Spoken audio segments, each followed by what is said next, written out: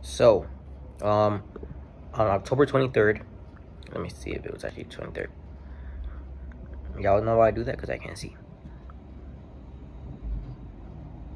23rd. On October 23rd. On October 23rd, I watched a female directed film. The movie I picked was The Babadook. So the first time I ever watched The Babadook, I watched it with my cousin. Um, my cousin Junior and Chris, they came to sleep over at my house.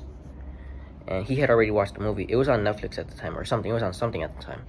This was like 20... I don't know. But it was in the 2010s. This movie came out 2014, so it had to be after that, obviously. Um, but basically, this kid is being haunted. Oh my god, the little kid was creepy. The little kid was creepier than the freaking Babadook. I remember I was getting like, I was getting the chills just looking at the kid. Like, bro, he's a good actor, bro. He's actually, well, my arm look big. oh, he's actually such a good act. He's actually such a good actor. Like in the movie. Um, but yeah, but then I watched it on the 23rd, on Sunday or Saturday, whatever day it was, Monday, Tuesday, Wednesday, Thursday. I watched it on the 23rd of October. Um, and dude, this movie is way better than I remembered it to be.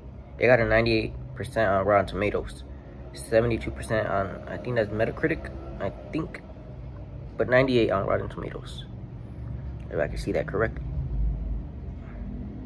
My beard white, or was that something white on my beard? Look at this big old beard. Boy, what the heck? Turn myself into dust. Um, what the? All right, so this movie is really good, bro. I, I, I recommend y'all watch it. I give this movie a 10 out of 10. 10 out of 10. Peace.